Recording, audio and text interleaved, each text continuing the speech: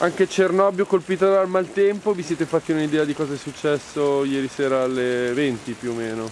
Sì, si è staccato una, un pianoro di, eh, di, terra ed ha invaso la casa che abbiamo qua alle spalle.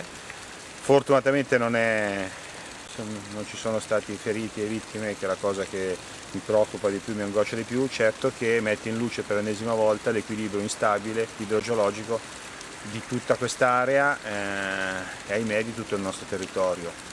E bisogna mettere in campo opere eh, che per troppo tempo non sono state fatte. Insomma. Noi vediamo dell'acqua che sgorga da un muro di cemento e arriva eh, qui in questa a valle, insomma. Adesso, c'è adesso, qualcosa che, di strano? Adesso andranno fatte chiaramente ancora delle ulteriori verifiche. Quello che posso dire è che tutta quest'area comunque l'acqua, eh, in tutta quest'area l'acqua si eh, accumula, scola senza dei percorsi predefiniti e, tende poi a creare dei danni. È già successo in aree qui adiacenti quando c'è stata la bomba d'acqua di qualche settimana fa, certo non, in modo così grave, e si è ripetuto adesso, probabilmente proprio il terreno intriso, però a un certo punto ha ceduto. Insomma.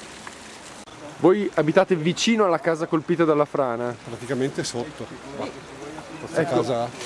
Questa cosa, cosa è successo ieri? Ma niente, cos'erano le 8? Più o meno verso le 8, 8 meno 10 abbiamo sentito un botto e poi, poi immediatamente dopo una signora che chiedeva aiuto. E siamo usciti per renderci conto di, di capire cosa stava succedendo.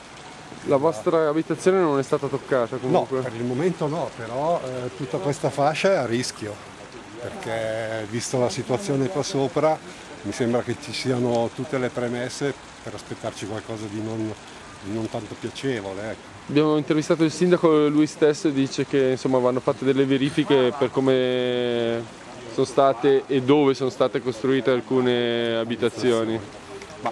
Comunque i permessi sono stati rilasciati penso dall'ufficio tecnico comunale, non lo so se poi vogliono fare delle verifiche per vedere che non ci siano altri rischi in corso, questo mi sembra che sia dovuto a chi abita nella zona.